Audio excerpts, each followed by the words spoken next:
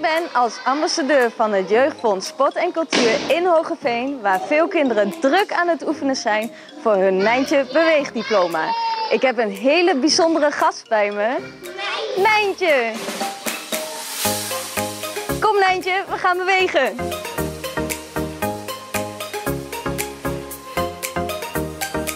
Het Nijntje Beweegdiploma helpt jouw peuter of kleuter op een leuke en verantwoorde manier te leren bewegen.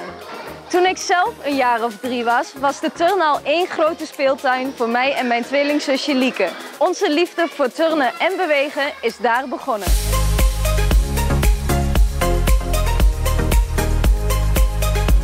En kijk waar het mij gebracht heeft. Dat gun ik ieder kind. Jammer genoeg hebben niet alle ouders voldoende geld om de beweeglessen te betalen. Gelukkig kan het Jeugdfonds Sport en Cultuur helpen. Zij betalen de lessen. En willen de kinderen daarna zwemmen, turnen of op een andere sport? Ook dan kan de contributie of het lesgeld betaald worden.